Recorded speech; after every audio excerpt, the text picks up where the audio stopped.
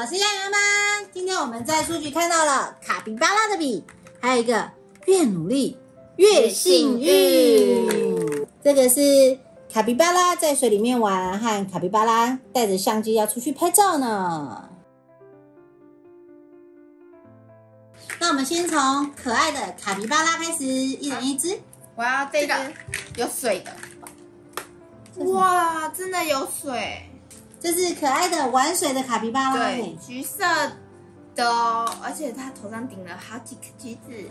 换我看看，我拿到是我白色的，哇哦，你们都抽到不一样的耶！再是这个越努力越幸运，全力以赴不负众望哦。来，我要。选一只这个一样这只，哎，我觉得有时候盲盒开出来的东西还蛮有趣的，对啊，很好玩。哇，全黑，自律，它的荧光呃金属牌上面写了“自律”两个字，代表我们要自律。自己去念书啊！时间到，自己去做该做的事情啊！自律即自由。我只想要后面两个字。到哦，灰色的，我是灰色的，我看一下哦。加油，加油！加油，加油，加油，加油！好好念书哦！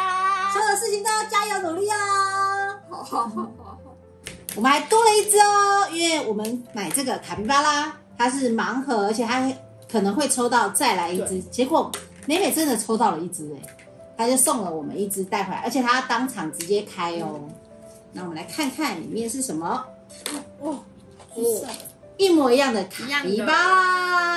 哎，会不会是这个包装盒出来的都是一样的？有可能就就是这个包装盒出来就是这个。原来你们两个抽到的也很不一样呢。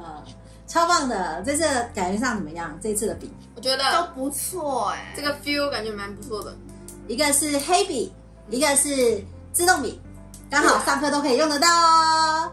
这就是我们在书局找到的盲盒笔，如果大家喜欢，也可以去找看哦。最后说什么？谢谢大家，拜拜。